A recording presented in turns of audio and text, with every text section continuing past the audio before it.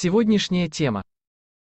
В августе Милош расстался с последней своей жертвой девушкой-танцовщицей Ариной Волошиной. Пока звезда грустит в одиночестве, наверняка недолгом, посмотрим в галерее на других счастливец, сумевших на время закрутить с ним роман, на днях танцовщица Арина Волошина, с которой Милош Бекович встречался год, выложила эмоциональный пост об их расставании, обвинив бывшего в том, что артист носит маску и только говорит о семейных и человеческих ценностях, но по факту не придерживается их.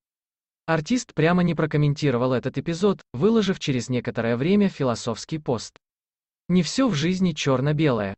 Но нюансов не видно, пока ты не подойдешь ближе и действительно не захочешь рассмотреть, заметил в соцсетях артист, возможно, комментируя скандальные высказывания экс-подруги. Интервью с Бековичем смотри тут, как сегодня живут главные звезды, фабрики звезд. Ставь лайк и подписывайся на наш канал.